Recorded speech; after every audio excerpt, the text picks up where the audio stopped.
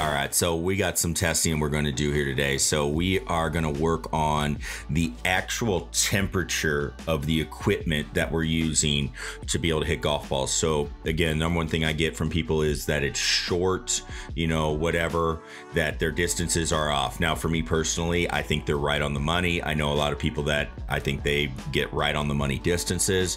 Now, we've talked in the past about ways that maybe your ball flight isn't getting the distance that you want. There's obviously things to consider when you're playing outside, the conditions, the outside conditions like temperature, things like that.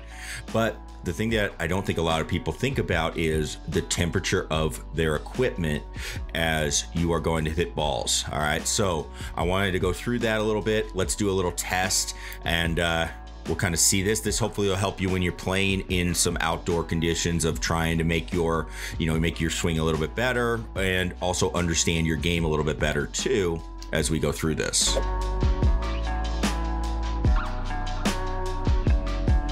So first thing we're testing. All right, so I have my studio out in the garage. It uh, is not temperature controlled unless I turn on heaters. So overnight, we just happen to have uh, very, very cold negative temperatures here in Chicago. So, good chance to get out there and try things out in a little bit of extreme temperature. So, the temperature in the room when we went out there actually couldn't be read on our thermometer. Now, it's not a traditional thermometer. It does have a room setting where you can actually get the temperature of the room, which is what we're using. It also has a mode where you can get the temperature of a surface. So we can do that as well. However, it was so cold, and my club sat out there, the golf ball sat out there, and the room obviously was cold that we couldn't get a temperature reading. So it was well below 30 degrees in the room when we did this test. All right. So let's take a look at those numbers of what it looked like hitting seven iron. So I did do some movement stuff and all that to get loose, um, but I was wearing, you know, clothing that was a little bit, uh, you know, again, trying to stay a little bit warm, but, uh, you know, you know, not quite 100% there, I would say, as far as how fast I was going to be swinging.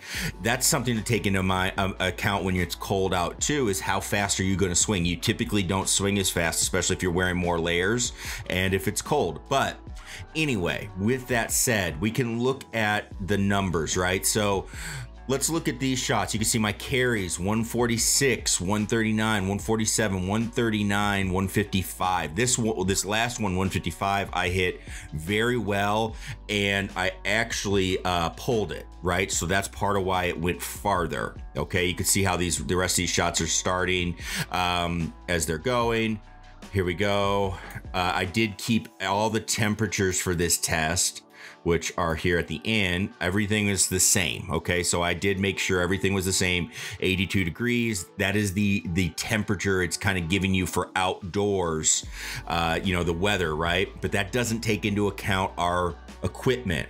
So that's something you have to keep in mind because, like, my smashes are lower.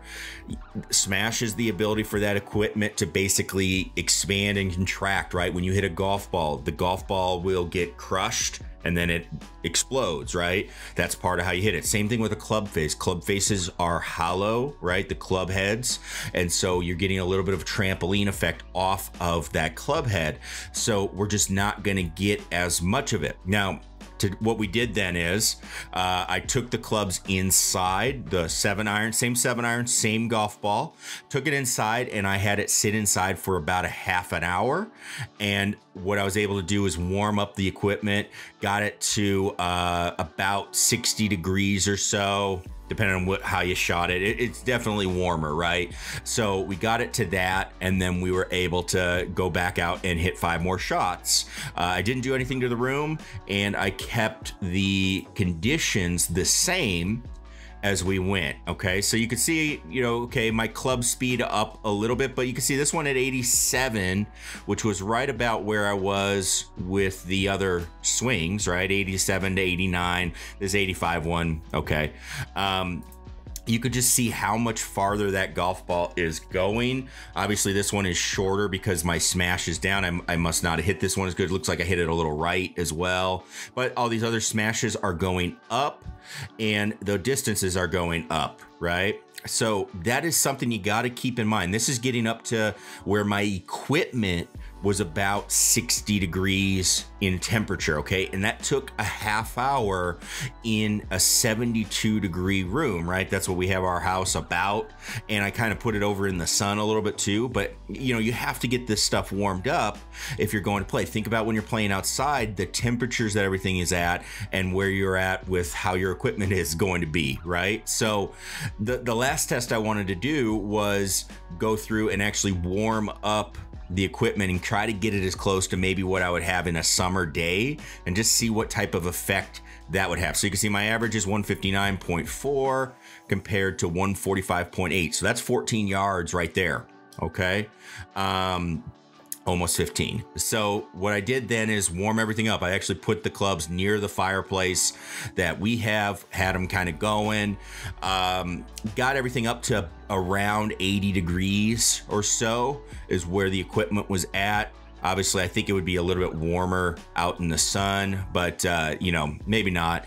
But just try to warm everything up a little bit. And you can see here are those numbers when I warmed everything up even a little bit more. Now, to be fair, swinging faster okay? And really didn't see much difference in the numbers when we went up from that temperature level. I mean i'm swinging a little faster. Smashes are good. They're about the same.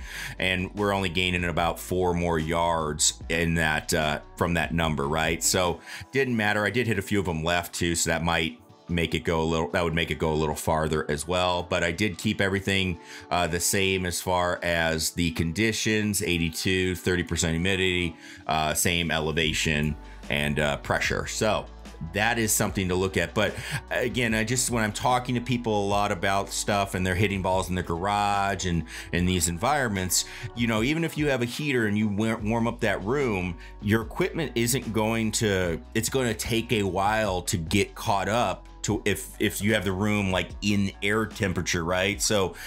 You know, what can you do? You could try to warm it up with a heater, or, you know, what I do is I just accept the fact that, okay, this is how it's going. And I worry more about, all right, consistency of the numbers.